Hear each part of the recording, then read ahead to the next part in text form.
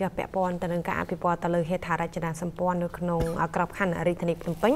ដែលយើងក៏សម្គាល់ឃើញថាដើម្បីឆ្លើយតបទៅនឹងកំណើនប្រជាជនក៏ដូចជាកំណើនយន្តយន្តនៅក្នុងរាជធានីភ្នំពេញគឺការអាជ្ញាធរក៏ដូចជាសាលារាជធានីភ្នំពេញបានធ្វើការសាងសង់នៅប្រភេទស្ពានអាកាសថ្មើរជើងដើម្បីសម្រួលទៅដល់ប្រជាពលរដ្ឋដែលជាអ្នកថ្មើរជើងនោះ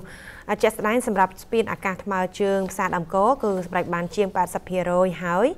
នៅល្ងាចនេះនឹងដំឡើងតួស្ពាននៅក្នុងនោះនឹងត្រូវបិទផ្លូវមួយ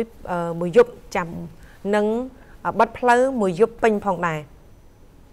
ប្រាប់ទូរទស្សន៍ BTV តាមទូរស័ព្ទលោកសំពិសិដ្ឋដែលជាប្រធានមន្ទីរសាធារណការនិងដឹកជញ្ជូនរាជធានីភ្នំពេញគឺបានប្រាប់ថាស្ពានអាកាសថ្មើរជើងផ្សារដើមគោសម្រាប់បាន85%ហើយ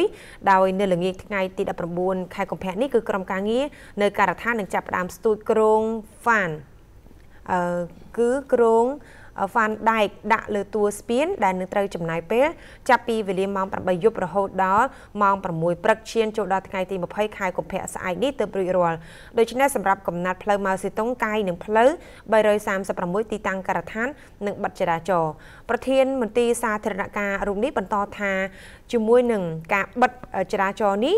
លោកស្នើឲ្យបងប្អូនប្រជាពលរដ្ឋត្រូវធ្វើដំណើរផ្លូវវាង និងសុំការយោគយល់ព្រោះដើម្បីសវត្ថិភាពលោកបន្តថាសម្រាប់ស្ពានអាកាសថ្មើរជើងផ្សារដើមកោនេះនឹងត្រូវរួចរាល់ទាំងស្រុងនៅក្នុងថ្ងៃទី5ខែមីនាឆ្នាំ2020នៅក្នុងខែក្រោយនេះតែម្ដងដោយសារតែផ្លូវខ្លះត្រូវដេកឲ្យបានល្អស្អាតជាមុនសិន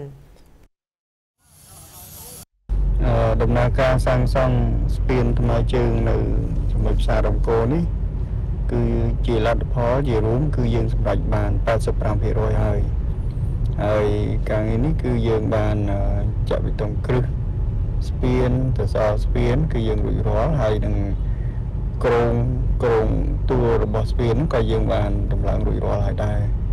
អញ្ចឹងជារួមថាការងារនេះយើងអាចនឹងបញ្ចប់រួចរាល់ទាំងស្រុង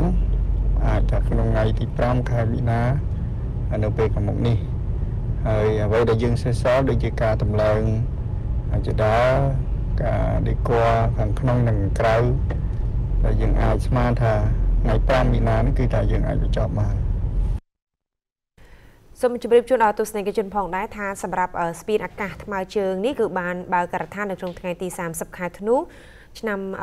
2019ដែលរហូតមកដល់ពេលនេះគឺទៅបានមួយខែ19ថ្ងៃប៉ុណ្ណោះហើយការបើកការដ្ឋាននីតិសោតក៏បានដំណើរការដូចគ្នាជាមួយនឹងស្ពានអាកាសថ្មើរជើងស្តុបសាលាបឋមសិក្សាសន្ធរមុខហើយស្ពានអាកាសនេះក៏កំពុងដំណើរការផងដែរប៉ុន្តែហាក់យឺតជាងស្ពានអាកាសថ្មើរជើងផ្សារដើមកោអញ្ចឹងយើងអាចធ្វើការប្រៀបធៀបបាននៅស្ពានអាកាសថ្មើរជើងទាំងពីរនេះគឺស្ពានអាកាសថ្មើរជើងផ្សារដើមកោនេះគឺមាន ការដំណើរការនោះសន្ទុះលឿនជាងប៉ុន្តែបើទោះបីជាយ៉ាងណាក៏ដោយសម្រាប់ពេលវេលានៅក្នុងការធ្វើការជាបន្តទៀតរបស់ខាងអ្នកជំនាញសាងសង់លើស្ពានអាកាសថ្មើរជើងនេះគឺត្រូវ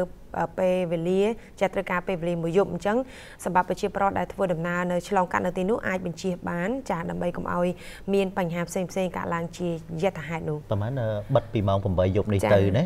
បិទចរាចរណ៍កន្លែងឆ្លងកាត់ការដ្ឋានសាងសង់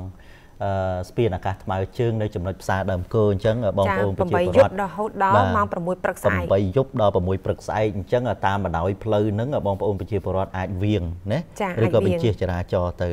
បាទពីព្រោះថាទីតាំងកន្លែងចំណុច ភ្លើងស្តុបផ្សារដើមគោនេះគឺស្ថានភាពចរាចរណ៍នឹងស្មុគស្មាញខ្លាំងមែនទែនបាទស្ទះសឹងតែជារៀងរាល់ថ្ងៃអញ្ចឹងទេដើម្បីជួយសម្រួលជាពិសេសផ្ដល់សវត្ថិភាពដល់អ្នកថ្មើរជើងពីព្រោះថាស្ថានភាពចរាចរណ៍នៅផ្នែកខាងក្រោមចំណុចស្តុបនឹងវាស្មុគស្មាញហើយមមាញឹកខ្លាំងអញ្ចឹងពិបាកដល់អ្នកដំណើរថ្មើរជើងគាត់ឆ្លងផ្លូវអញ្ចឹងទេបានជារដ្ឋបាលរាជធានីភ្នំពេញដែលមានមន្ទីរសាធារណការនិងដឹកជញ្ជូនជាសេនាធិការហ្នឹងក៏បានរៀបចំឲ្យមានការបង្កើតនៅស្ពានអាកាសថ្មើរជើង ទាំងនៅកន្លែងចំណុចស្តុបផ្សារដើមគោក៏ដូចជានៅតាមបណ្ដាគោលដៅស្តុបមួយចំនួនទៀតគឺក្នុងគោលបំណងដើម្បីជួយសម្រួលជាពិសេសដើម្បីសុវត្ថិភាពដល់អ្នកថ្មើរជើងអញ្ចឹងទេនៅយប់នេះបាទពីម៉ោង8រហូតដល់ម៉ោង6ព្រឹកបងប្អូនប្រជាពលរដ្ឋដែលជាអ្នកធ្វើដំណើរនៅពេលយប់ឆ្លងកាត់កំណាត់ចង្លែងចំណុចស្តុបផ្សារដើមគោអាចនឹងរកផ្លូវវាងដោយសារតែក្រុមការងារបច្ចេកទេសនៃការដ្ឋានសាងសង់នេះចាប់ផ្ដើមរៀបចំបច្ចេកទេសហើយបើតាមលោកប្រធានមន្ទីរសាធារណការលោកសំពិសិដ្ឋបញ្ជាក់ឲ្យថាតាមគម្រោងនឹងធ្វើម៉េចពន្លឿនឲ្យស្ពានអាកាសថ្មើរជើងនៅកន្លែងផ្សារដើមគោនេះរួចរាល់នៅត្រឹមថ្ងៃ5មិនិនា2020ដើម្បីដាក់ជូនបងប្អូនប្រជាពលរដ្ឋលោកបានប្រើប្រាស់